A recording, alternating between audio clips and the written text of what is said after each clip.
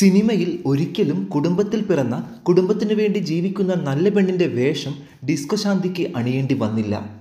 ബാറുകളിൽ മാദക നൃത്തം ചെയ്തും നീർച്ചോലകളിൽ അർദ്ധനഗ്നയായി നീരാടിയും വില്ലന്റെ ഗ്യാങ്ങിലെ എന്തിനും പോന്ന തന്റെടി പെണ്ണായും എൺപത്തഞ്ച് മുതൽ തൊണ്ണൂറ്റഞ്ച് വരെയുള്ള ഒരു പതിറ്റാണ്ട് കാലം ടാബു ചെയ്യപ്പെട്ട ഗ്ലാമർ താരം. അന്ന് ഡിസ്കോശാന്തിക്കൊപ്പം ഉത്തമ കുടുംബിനിയായി വേഷം കെട്ടി അഭിനയിച്ച നായികമാരിൽ ഭൂരിഭാഗവും ജീവിതത്തിൽ വളരെ പെട്ടെന്ന് ആ വേഷം അഴിച്ചു വെച്ച് സിനിമാ ചൊറുണ്ണാൻ തിരിച്ചെത്തിയപ്പോൾ ഡിസ്കോശാന്തി വിവാഹിതയായി അന്ന് തൊട്ടിന്നോളം ഉത്തമ കുടുംബിനിയായി തന്നെ കഴിയുന്നു എന്നറിയുമ്പോഴാണ് റിയൽ ലൈഫും റിയൽ ലൈഫും തമ്മിലുള്ള വ്യത്യാസം എത്ര കണ്ട് വലുതാണെന്ന് നാം തിരിച്ചറിയുന്നത്?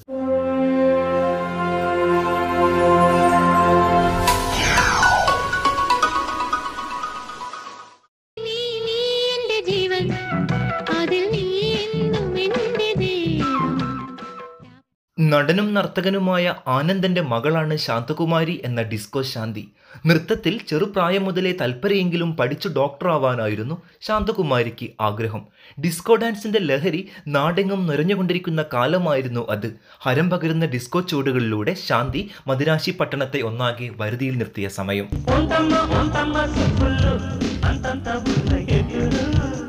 ബോലോ ബോലോ പ്രേം നസീറും മോഹൻലാലും സരിതയുമൊക്കെ വേഷമിടുന്ന ചിത്രത്തിലെ നായിക വേഷം അമേരിക്കയിൽ ഷൂട്ടിംഗ്. സ്വപ്നതുല്യമായ തുടക്കമായിരുന്നു ശാന്തിയുടേത്. സത്യനദിക്കാടിന്റെ ചിക്കാഗോയിൽ ചിന്തിയ രക്തം തനിക്ക് വഴുത്തിരുവാകുമെന്ന് അവൾ വിശ്വസിച്ചു. ഒടുവിൽ ഉണ്ണികൃഷ്ണന്റെ മകൾ രാജി എന്ന കഥാപാത്രമായിട്ടാണ് ആ സിനിമയിൽ നടിയെത്തിയത്. ആദ്യ ഷോട്ട് തന്നെ ടു പീസ് അണിഞ്ഞ് സ്വിമ്മിംഗ് പൂളിൽ നീന്തുന്നതായിരുന്നു. നീന്തലറിയാത്ത ശാന്തി അന്നേറെ വെള്ളം കുടിച്ചു. പിന്നീട് സിനിമ പുറത്തിറക്കാൻ കഴിയാതെ അണിയറ പ്രവർത്തകരും എൺപത്തി ഒൻപതിൽ ലാൽ അമേരിക്കയിൽ എന്ന പേരിൽ ചിത്രം പുറത്തിറങ്ങിയപ്പോൾ ശാന്തി ഡിസ്കോ ശാന്തിയായി പരിവർത്തനം ചെയ്യപ്പെട്ടിരുന്നു.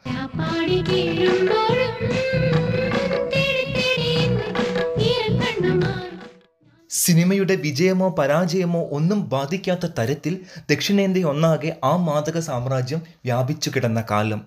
അതുകൊണ്ട് തന്നെ സിനിമയുടെ റിലീസ് ഡിസ്കോ ശാന്തി പോലും ശ്രദ്ധിച്ചു കാണില്ല അന്ന്.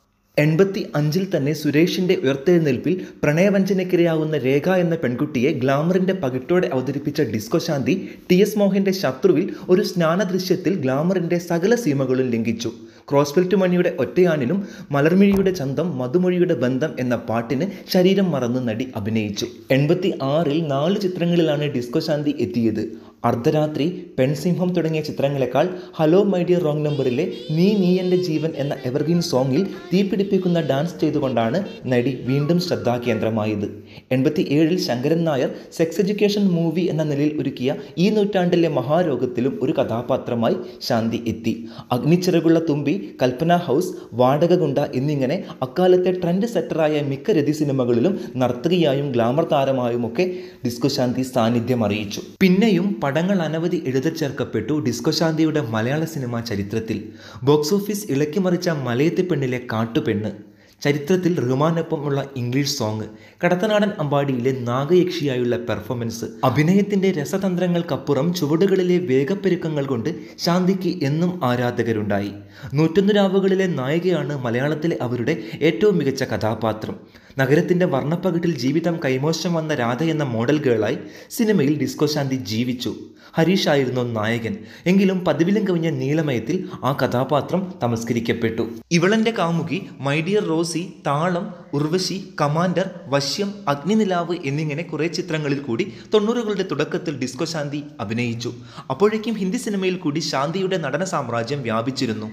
അന്നൊരു നാൾ ഹിന്ദിയിൽ ഒരു നായിക കഥാപാത്രം അവതരിപ്പിക്കാൻ നടിക്ക് ക്ഷണമുണ്ടായി. ആ ഓഫർ ഡിസ്കോ ശാന്തി നിരസിച്ചത് അക്കാലം വാർത്തയായി. ഡാൻസ് മാത്രം ചെയ്യുന്നതാണ് എനിക്കിഷ്ടം. കാരണം നൃത്തക്കാരിയായാൽ പ്രശ്നങ്ങളില്ല. ഡാൻസും കളിച്ച് പൈസയും വാങ്ങിപ്പോരാം. മനസമാധാനത്തോടെ വീട്ടിലിരിക്കാം. പക്ഷേ ക്യാരക്ടർ ആർട്ടിസ്റ്റ് ആയാൽ പ്രശ്നമാണ്. ചിലപ്പോൾ തിരക്കിട്ട് ബോംബെയിലേക്ക് പോകാൻ നിൽക്കുമ്പോഴാവും പ്രൊഡക്ഷൻ മാനേജർ വന്ന് പറയുക ഒരു ദിവസം കൂടി അഡ്ജസ്റ്റ് ചെയ്ത് വർക്ക് ചെയ്യണമെന്ന്. ആവശ്യം അംഗീകരിച്ചില്ലെങ്കിൽ പിന്നെ കോൾ ഷീറ്റ് തെറ്റിച്ച നടിയെന്ന് പറഞ്ഞു പരത്തും. ആ സംഭവത്തിന് ഡിസ്കോ ശാന്തി ചിത്രഭൂമിയിലൂടെ നൽകിയ വിശദീകരണം ഇങ്ങനെ. ആയിരത്തി തൊള്ളായിരത്തി തൊണ്ണൂറ്റി ആറിൽ തെലുങ്ക് നടൻ ശ്രീഹരിയെ വിവാഹം ചെയ്തതോടെ ഡിസ്കോ ശാന്തി സിനിമാഭിനയം നിർത്തി. ശാന്തി ശ്രീഹരി ദമ്പതികൾക്ക് രണ്ട് ആൺമക്കളാണുള്ളത്.